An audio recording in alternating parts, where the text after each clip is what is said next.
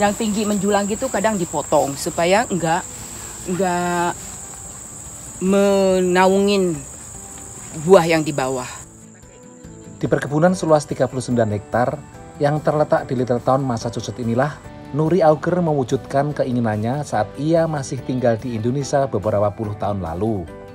Uh, bertani itu salah satu impian saya waktu saya masih di Indonesia ya.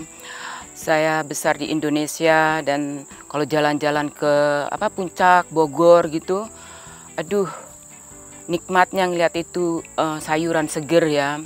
Saya pernah mimpi kapan saya bisa nanam itu. Ada beberapa varietas apel ditanam di perkebunan ini.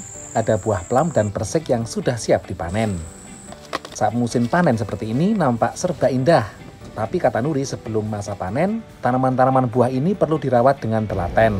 Selain harus awas terhadap hama, di bulan Januari saat cuaca masih dingin dan bersalju, ia harus melakukan pruning atau memangkas pohon ranting apel supaya jangan terlalu rimbun.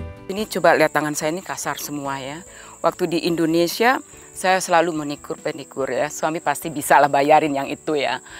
Tapi sampai sini nggak masalah untuk saya. Nggak mulus lagi juga nggak apa-apa. Asal saya bisa main sama tanah, sama cacing. Ini.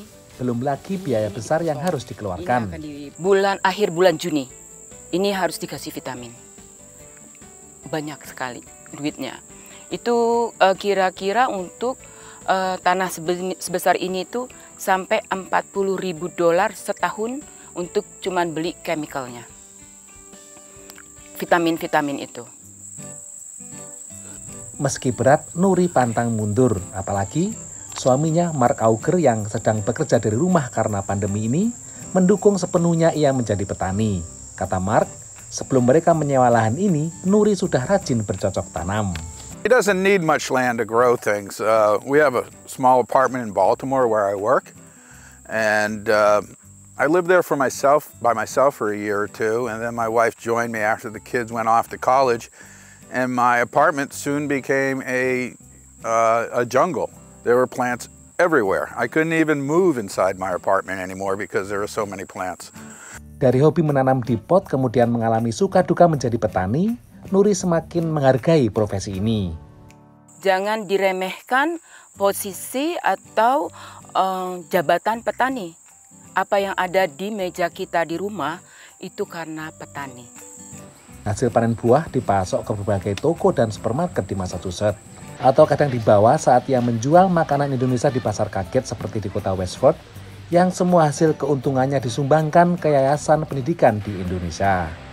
Well, she, I, I, don't know if she sells fruit from her farm, but I've gotten fruit that she's grown in her yard, um, and it's fantastic. Um, but then also, particularly, I like her um, jamu.